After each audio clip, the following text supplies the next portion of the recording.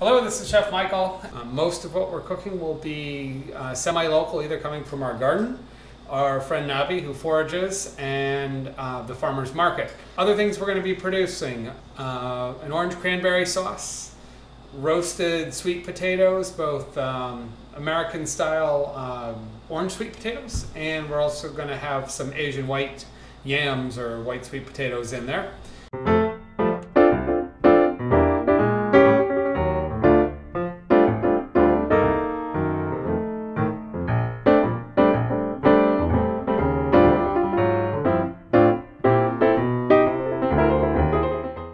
So the first thing we're gonna do is we're gonna start by roasting our sweet potatoes. We have um, the red ones, which are the Asian sweet potatoes, and they're more of a creamy whitish color inside. And then we have the orange sweet potato skins that have a traditional orange flesh. So we're just gonna rinse these off and I'm gonna stick them in the oven. I'll prick them a couple of times and we're gonna roast them so that they are um, beginning to soften, but I can peel them and not have them fall apart.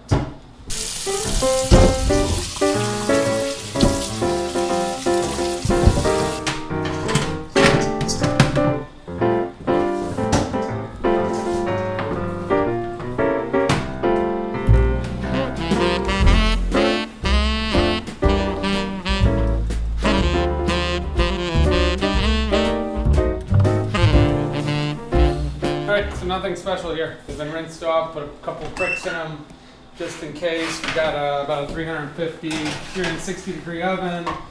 Um, I'll check them in maybe half hour, 45 minutes, see where we're at.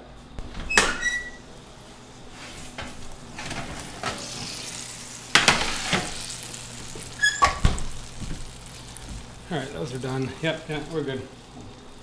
We're fine.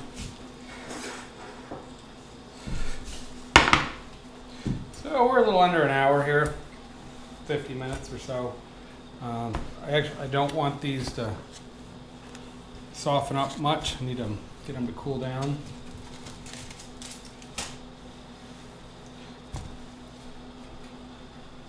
Even just throw them in the fridge for a moment. These are going to be peeled. All right, uh, so we're gonna make some quick cranberry sauce. This is about the fastest cranberry sauce you can make. It's a raw preparation, so it's healthy.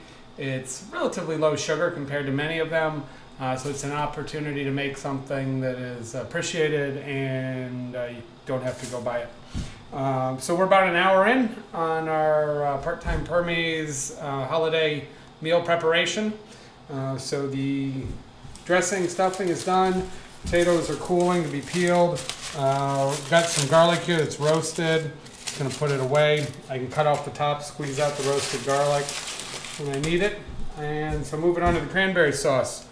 Uh, one orange. Take the top and bottom off. Open it up, make sure it's limited on seeds. I like to cut out some of that core stuff. Get out, if it's a navel orange, get out the uh, pith and stuff at either end. So you got, um, this is nice, it's a little thinner skinned. Um, is just what I want. I'm gonna cut the whole thing up. The beauty of this recipe is you get an orange cranberry sauce, but you get the sweetness and the bitterness of the orange. So you use the entire peel and the pith, minus some of these heavier pieces. And trying to get the seeds out is always a bonus. I got about a pound of cranberries from the farmer's market, um, secondary source. There are a lot of cranberries growing around here blueberries, cranberries, other berries. Uh, I hear a lot of the Amish uh, in this area and just south of us grow them. So put the oranges in, put the cranberries in. Uh, you could use a blender on pulse. Cuisinart works better. Put in a rough pound of cranberries to one one, maybe two oranges, uh, one cup of sugar, a cup of sugar seems like a lot, but for any of you that make jam, two cups of sugar one cup of fruit, sort of a standard ratio. Uh, if you look at what's in commercial cranberry jelly. I bet you it's uh, twice that at least. So, um, and you got that orange. This is Michigan uh, cane or Michigan beet sugar, sitting in a Dean's uh, New York Golden Vanilla ice cream bucket.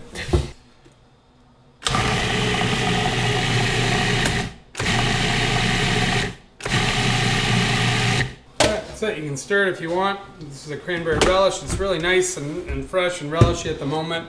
It will cure um, overnight and be more of a sauce. So that's it. Um, not my recipe. Actually, I think it's been sitting on the back of some of the labels of certain cranberries for probably 100 years, but it's the easiest one out there. You can cook this too. If you want to cook it down a little bit, you can cook it, uh, but not necessary. Yep. Do you make that into the jelly form or no? If you Yeah. cooked it, Yeah. There's a lot of pectin. A lot of pectin in cranberries, but don't forget that citrus peel is another one of the high sources of pectin. A lot of times it's from apple pear. Um, quince from the seeds and the pith and the, the skin and stuff is a byproduct um, when we buy pectin, but some of it will actually say it's citrus based. So, yeah, um, this will kind of start to set up by itself if you don't stir it.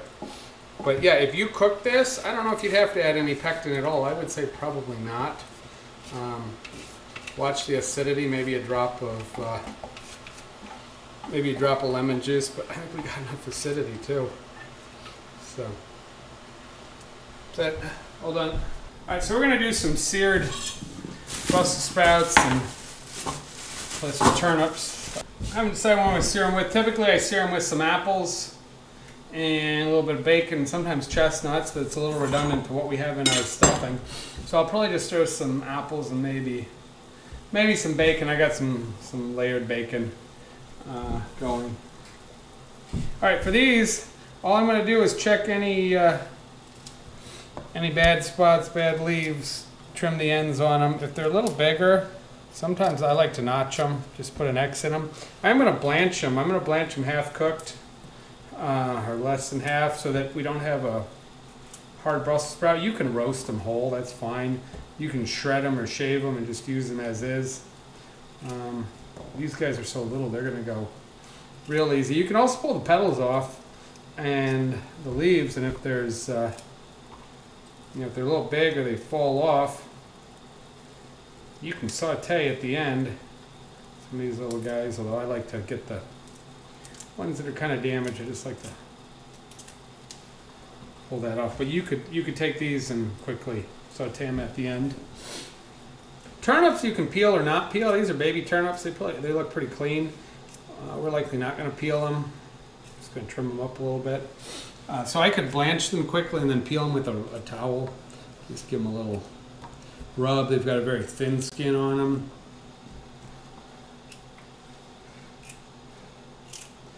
Just gonna cut these down so they blanch pretty quickly.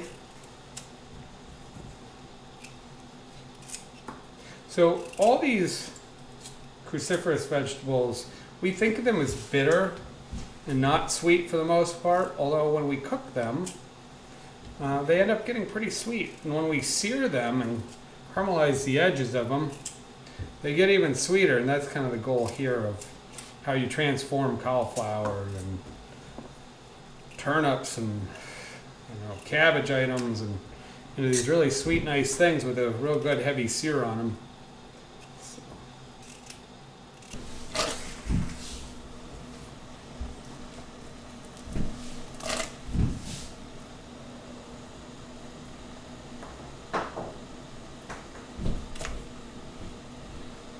All right, so just a really quick blanch. Got some salted water,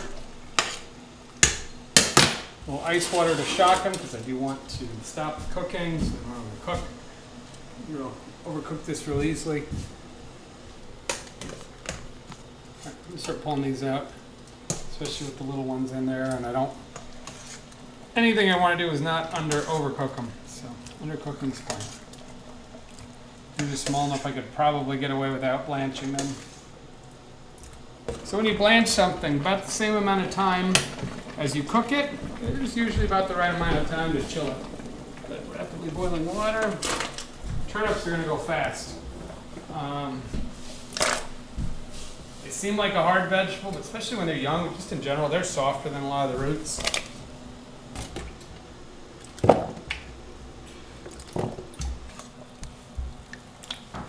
It's just softened a little to the touch. We're going to be searing them. They're going to get plenty of heat on them. Additional cooking time. You know, you can roast them, you can sear them, you can grate them up. There's really a lot of things you can do with them. They're they're amazing vegetable. I think they're maybe they'll be the new kale in a few years. Uh, we can all capitalize on it. Uh, you can make a Irish dish uh, called cannon, which has a mash of, of potatoes and cabbage and other root vegetables. Um, my understanding is somewhat flexible to whatever you have on hand. Um, so that's uh, that's actually pretty tasty. It's surprisingly better than anybody would think. Um, all right, so we're just going to peel potatoes for mashed potatoes. Uh, it's not that big of a deal, but uh, things. So a couple ways you can do it. Cut the ends off because there's the least waste there and a lot of peeling around. Take peeler. Top to bottom, one stroke, so you don't waste time. Is a really big potato. That's it. Want big enough pieces that they're not going to starch out all over the place, but you also want them to uh, cook evenly. So cook, cutting most potatoes in half, quarter is really big potato, more is about right. Other way you can peel it.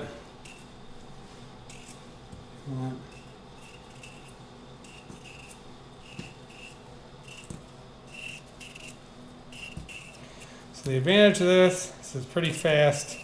You don't have to ever double peel anything. Um, you can get around any of those yeah, funny stuff that's in there that cause a problem with the peeler. You can get rid of that.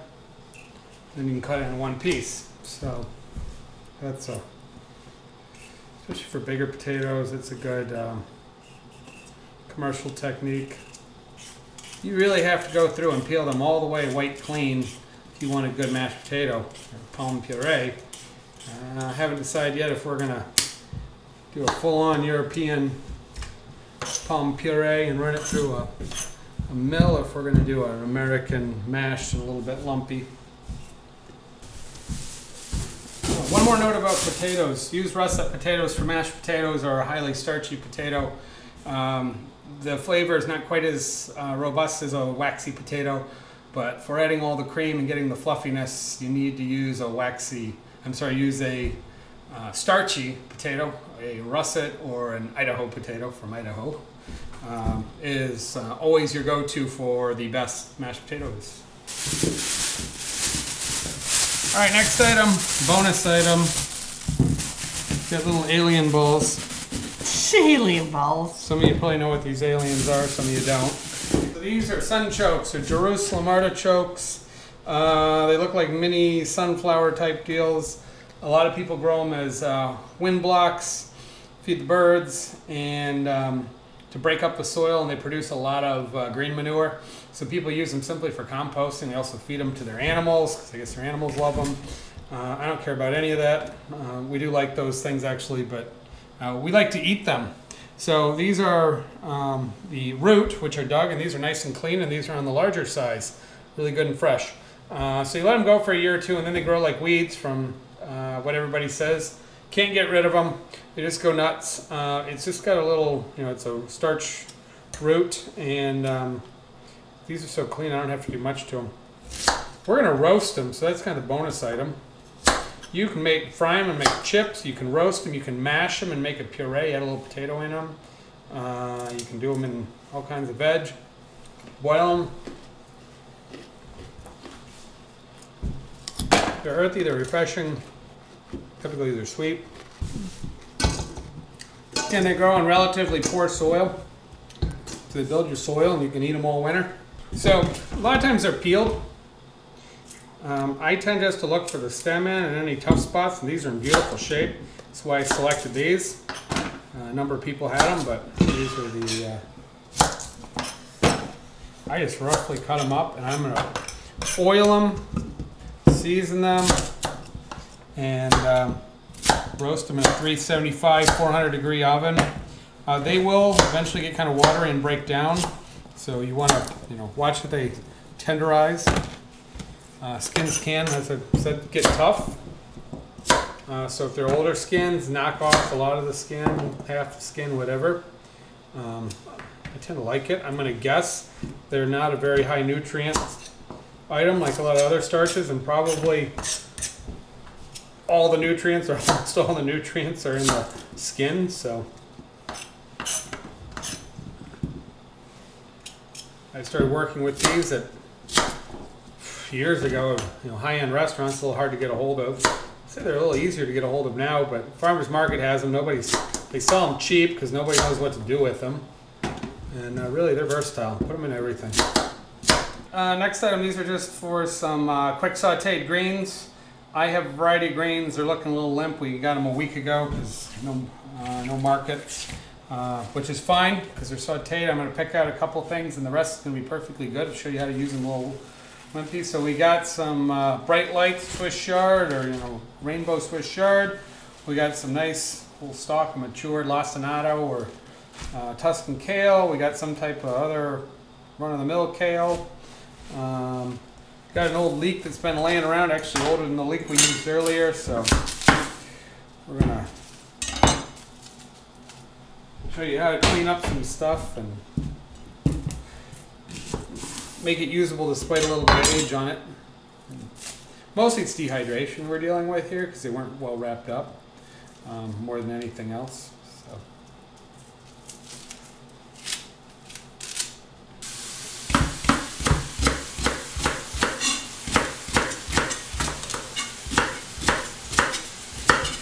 By the way, you can roast leeks whole or in big chunks. Um, peel or char them on a grill and pull the um, outside burned stems off, and uh, they get amazingly sweet also. I'm starting to run some water because I want to re refresh and uh, some of these greens, and I want to. Uh, uh, get any dirt off of them. These are actually on stock. I cut them off, so it's kind of the end of a. Just sold them to me as a as piece. Never tried the stock on a kale. Might be sweet. I don't know. Let's give this a quick chop chop now. Okay, so what you can do if you got leaves that are uh, a little quicker cooking, a little more tender than stalks, you can just kind of pull them either forwards or back, whichever way they like to come off.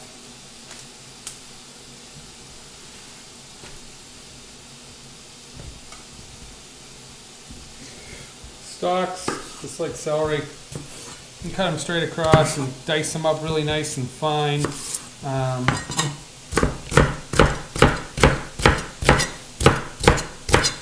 maintain a lot of their color. Just watch if you had a lot of vinegar or acid, they could lose some color. Only thing I can say about greens, uh, they'll- they can revive a little bit in here. They'll take on a little moisture, but it doesn't really matter. Um, plunge them. Actively plunge them up and down. Get all the sand out, and then do it in enough water that there's water below the level of the greens or whatever you're straining them in. I watch people all the time clean greens. Yes, chef. Yes, chef. I cleaned the greens and I got about that much water, and they're just mixing the sand around. So if there's a lot of sand, spinach, you need a bath because you need, while you're plunging that, all that heavy sand, that rock material, to go to the bottom and disappear into the sink. That's the whole point of cleaning them, aside from the hydration. All right, so we're back to the sweet potatoes. They've been in the fridge, just cooling off a little bit so we can handle them. Um, a little soft. So sweet potato, all we're gonna do is peel them, hand peel them, scrape them, whatever we need to do to get um, get the skin off. So roasting a sweet potato, by the way, creates lets uh, the carbohydrates, the sugars come out and become um, sweeter than boiling them. So it's it's going to intensify the flavor. How we finish these. We're probably gonna finish them with a little maple syrup, brown sugar, cinnamon sticks, the standard. So just clean out any bad spots, set them up. I'm not necessarily gonna cook them in here. I'm just holding them in here.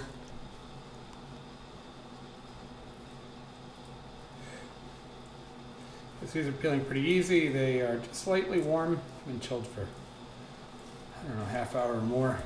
I think about an hour by now. Uh, yeah, I guess I don't have a. Guess they don't have a commercial cooler with a fan blowing. I'm used they were mounted up a little bit. I didn't expect them to get all the way cold. Just wanted to take the edge off them, and they'll firm up a little bit as they sit here overnight. And there's all these other Asian yams and sweet potatoes. Some grow really big. I've had quite a few Caribbean and Asian yams in New York markets, but um, these, this is a good variety. I don't know what variety it is. You got to ask Nabi. Something she likes. It's probably Says Kor- it's Korean. it's got to be a Korean sweet too, because that's what she knows. So it's a good one.